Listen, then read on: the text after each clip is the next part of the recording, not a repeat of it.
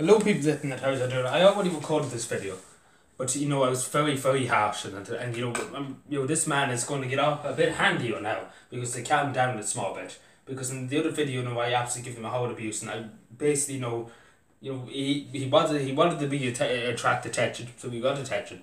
And you know the attention I give him there, uh, uh, I'm not even going to put up the video because I use very foul language to denounce as well And this is the smart cut I'm talking about.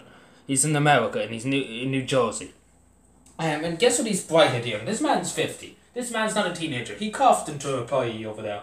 And guess what? This is the best news about this. This is the thing that makes the day for me. Seven years in prison. You heard me right. Seven years in prison for doing this. And I'm not saying this is an overreaction. But the, the, the dead white over there, the dead white, I hope to beat the head of him because he looks like some smart. I'm looking at him here and I really want to break his face.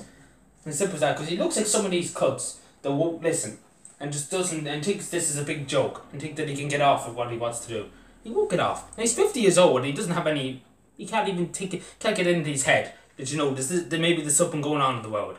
He can't get into his head. He's not that. He's tick. He's really really tick. He doesn't. He's stupid. He's very idiot, idiotic. Seven years and a twenty six thousand dollar fine. You heard me right. That is a huge um, thing for just coughing at somebody and then giving a smart remark to this person in the shop. And he's such a smart little gobshite. And if God Almighty, he's and I hope the cops over there absolutely batted the head of him when they got him when they got him forth. Because I say he gives smart abuse to the cops when they came to him and got him arrested. Because he looks like one of them who just will be smart with everybody and thinks that he can win the gaff. Oh Jesus, I, I have to pat New Jersey State Attorney on the back.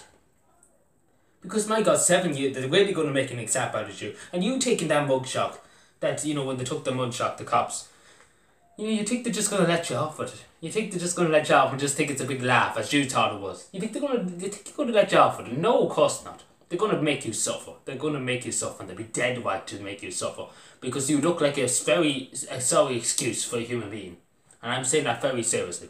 You look like somebody that doesn't respect nobody. You doesn't. You look like somebody who thinks this is a big joke that people are dying. That twenty thousand people are dead already because of this coronavirus. And you don't have any respect for yourself. As simple as that. Because if you're that low to do that, and that somebody that's stocking shelves in the shop trying to keep people alive with food, and obviously trying to you know trying to put food up on the shelf, you're very sad. You're very sad. You're very very sad. Simple as that. And you to the full face the full punishment. And even if that may seven years, people might say that's very very stiff. But you know, maybe it might teach him a lesson when he gets out, if he's sixty or something like that. No, I hope to put more years on and I really hope, but I really hope they make you suffer in the prison. I really hope they don't give you any protection in prisons. Yeah, there'll be gangs going up to you, and you think you're the big man. You think you're the big man going around coughing on employees. They're doing their best.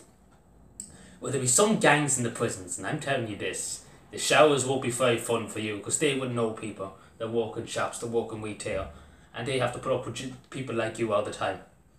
And you know what? They're going to do make you suffer. They're going to make you suffer. And I love to hear that you know they made you suffer. I would love to hear it. Make my mm. day to hear that. Because you no, because that's the only way you're going to learn. If somebody makes you put, if somebody makes you pay, and obviously this is one of the payments, makes you suffer for seven years in the prison, seven years in the federal penitentiary over there. It's going to make you suffer. It's going to make you, and I hope to do. Because it teaches you a lesson. It teaches you a lesson about respect and how you know in times of emergency, in times of crisis, you should respect your fellow human beings. And you shouldn't be that low to do a cough in somebody's face and then joke about it, then give smart remarks. How dare you? Simple as that. How dare you do that? And you know what? I hope to push the full punishment onto you.